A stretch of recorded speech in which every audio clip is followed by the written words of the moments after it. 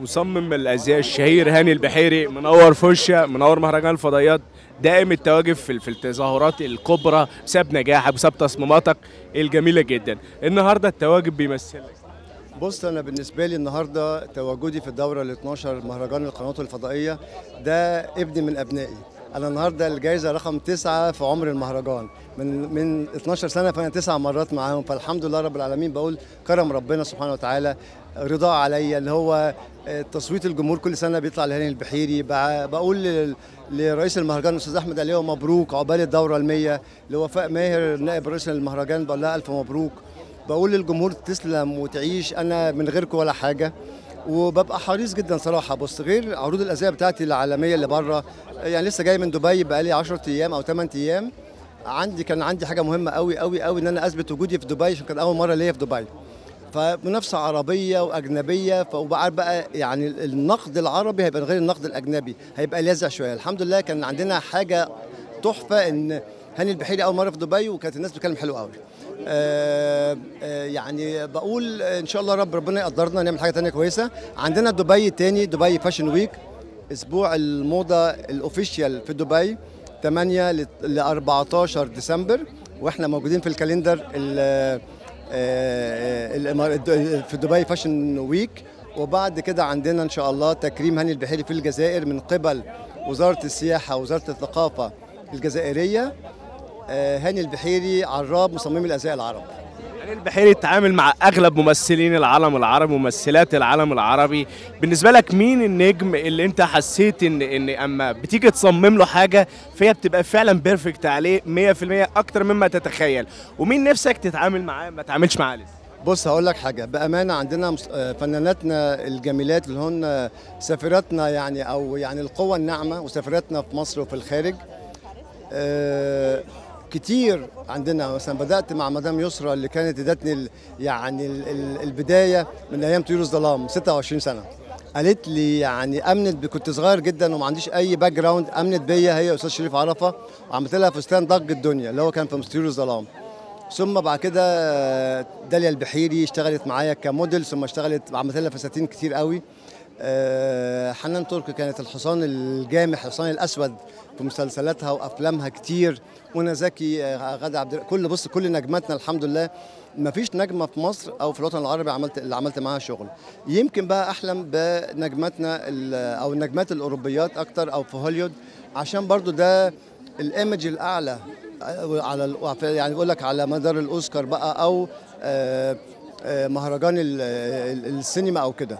أنا بقول إن شاء الله رب العالمين إن إحنا اللي جاي عندنا خطوات ثابتة لنجمات عربيات كبار وأوروبيات إن شاء الله رب العالمين. بالنسبة لنجمات هوليود مين نفسك نجمة في هوليود تبقى أنت اللي تقدر تعمل فيها ال dress بتاعها ال style بتاعها؟ ده حلم بالنسبة لك. بص إحنا بالصدفة البحتة وإحنا في دبي كانت في نفس اليوم J.Lo لابسة من Dolce & Gabbana. أسود بالألوان كلها الأحمر والروز والبستاج وكذا وإحنا نفس ال... هي لابسة بنطلون بمنطوق إحنا عاملين منطوق بنطلون كده نفس الفكرة نفس الألوان. فأنا نفسي ألبس جيلو تبقى حاجة حلوة أو كده أو بيانسي طبعا حاجة كويسه بص نجمات فوق العادة. ليه تبقى جميلة ومش صغيرة بس بتتحدى الزمن وتتحدى الرشاقة والجمال وانستيج ومبهرة ولبسها حلو ومكياجها حلو. دي مهمة قوي بالنسبة لي. مين في عالمنا العربي مشابه لده؟ نفسك تتعاون لا ما في عالمنا العربي لا ما عندنا كتير بقى إحنا قلت لك إحنا يعني مثلا بحب مثلا يسرى إصرارها على تواجدها إن هي شابة مثلا ما شاء الله ما بتحبش إنها يعني إنها مثلا تقول لك لا عشان سني شوية لا بتلبس كل الأفكار وكل الأحداث. ناديه الجندي ناديه الجندي من الناس اللي ممكن تقول لك أنا ألبس كل حاجة. أنا جسمي رياضي أنا شكلي لطيف أنا ممكن يعني امبارح كانت لابسة فستان قصير في الميركس دور. هز الدنيا عملت ضجة بيه فأنا عندنا بص نجماتنا والله العظيم لا مقارنة بأي نجمات عرب يعني الحمد لله رب العالمين الحمد لله. السيزون الحالي ما بين الشتاء والصيف أعتقد موسم الخريف. ده إيه لو هترشح للفتيات أو النساء في عالمنا العربي إيه اللي يتلبس في الفترة بص أنا بقول أنا أحلى حاجة تلبسه النجمة المصرية أو الغير المصرية اللي يليق عليها. أول حاجة مرايتك هي أكتر حاجة صريحة أكتر صديق صريح. يا, يا, يا هيقول يا, يا, يا هتقول المراية أنا شكل حلو وشكل مناسب أو لا؟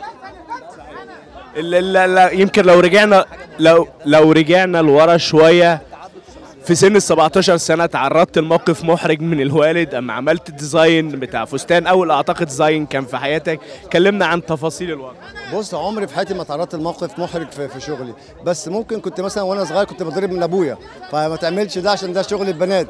ف لكن اللي عالج الموقف ده كانت أمي ربنا يديها العمر والصحه كانت دايما بتعالجني نفسيا. أنت اشتغل في وقت الأجازة في وقت ال...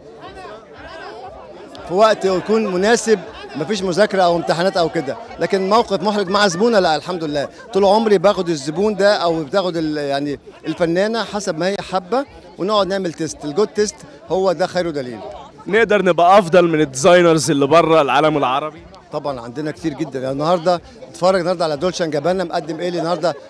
بدل عاملة إزاي؟ واتفرج على بدلة هاني البحيري النهارده. بص النهارده بدلة عاملة إزاي. الشغل والأناقة ال- ال handmade ال- ال finishing آه، إحنا عندنا اهو عندنا ايد مصرية رائعة وعندنا مبادرة قريبة جدا إن شاء الله بسيادة الرئيس عبد الفتاح السيسي بمبادرة آه، جهاز تنمية المشروعات الصغيرة بننمي 20 بيت أزياء صغير عشان يوصلوا للعالمية يطلعوا بره معارض. وهاني البحيري بيشرف على الكلام ده كله وهنقدم بيه عرض ازياء مهم جدا والرئاسة بتشرف عليه إن شاء الله رب العالمين. مصمم الازياء هاني البحيري نورتنا وبالتوفيق في ال steps اللي جاية ميرسي كل سنه وانت طيب وبخير ودايما فوشيا متألقة وموجوده في كل مهرجاناتنا إن شاء الله. ميرسي. أشكرك.